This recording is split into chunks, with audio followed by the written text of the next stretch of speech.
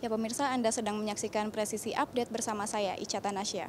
Ya pemirsa, menjelang opening seremoni Pekan Olahraga Nasional Aceh Sumut ke-21, pihak kepolisian khususnya Polda Aceh terus berupaya untuk melakukan pengamanan melalui Pomerah Selawah yang di mana uh, pengamanan tersebut dilakukan di uh, beberapa titik di Stadion Harapan Bangsa. Dan untuk mendukung kelancaran pada pengamanan ini, pihak kepolisian mendirikan posko, yakni pos taktis presisi di Stadion Harapan Bangsa. Dan untuk mengetahui seperti apa dan apa saja yang ada di dalam posko uh, pengamanan ini, saat ini saya sudah bersama dengan Kaposko Taktis Bidang Keamanan Operasi Pomerah Selawah PON 21 Aceh Sumut 2024 Kompol Yasir. Halo Bapak, apa kabar? Alhamdulillah kabar baik. Assalamualaikum warahmatullahi wabarakatuh para pemirsa.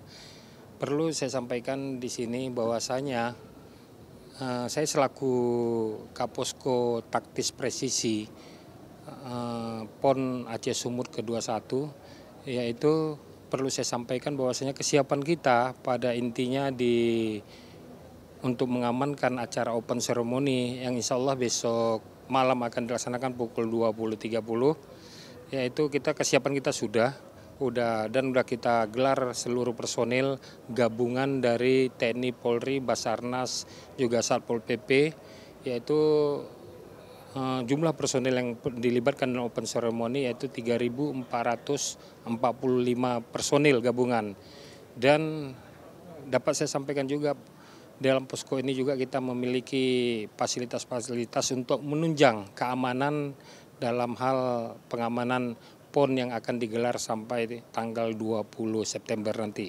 Di antaranya kita seperti yang kita lihat di layar monitor kita mempunyai CCTV untuk di semua venue yang ada di 10 kabupaten kota yang ada di Provinsi Aceh yaitu ada 48 venue yang 46 eh, venue, maaf 46 venue.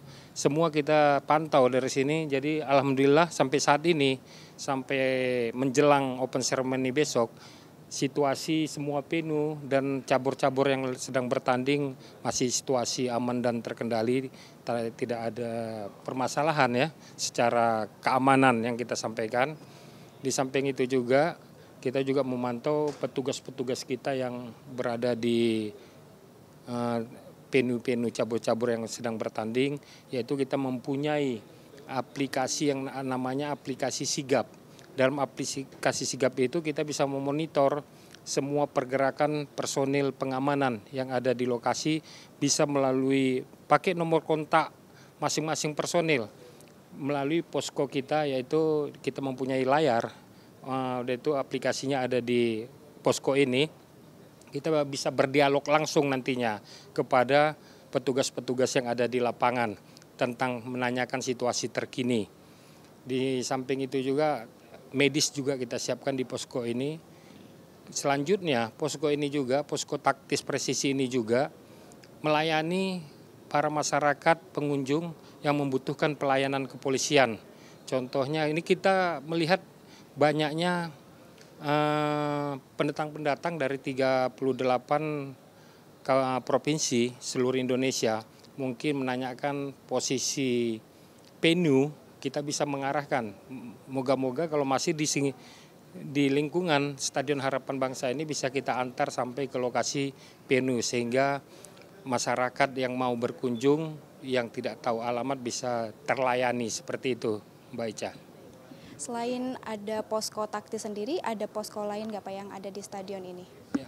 Selain posko taktis uh, presisi yang saat ini kita berdiri, ada dua posko lagi yaitu posko uh, pintu depan dan posko pintu belakang. Semua personil yang dilibatkan adalah personil gabungan. Ya tujuannya untuk monitor seluruh pengunjung baik yang masuk maupun yang keluar dari pintu belakang. Seperti itu. Baik, dikabarkan nanti besok itu akan ada kunjungan dari Presiden Joko Widodo beserta juga Kapolri Jenderal Listio Sigit Prabowo yang nantinya mungkin akan uh, meninjau kesiapan dari uh, pengamanan personel di sini. Itu seperti apa, Pak? Ya, memang benar.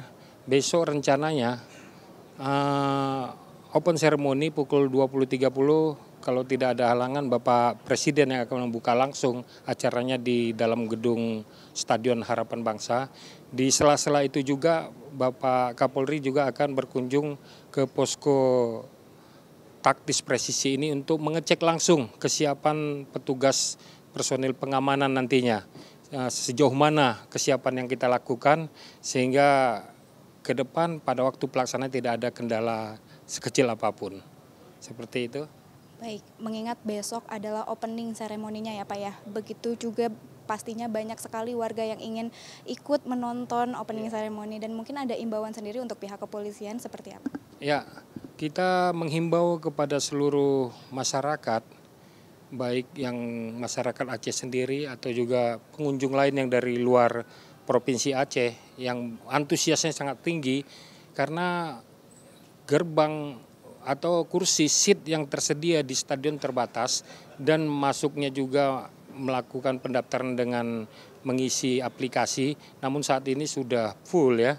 Jadi tidak usah memaksakan diri yang tidak mempunyai kesempatan untuk hadir ke sini karena sampai sini juga sia-sia tidak bisa masuk.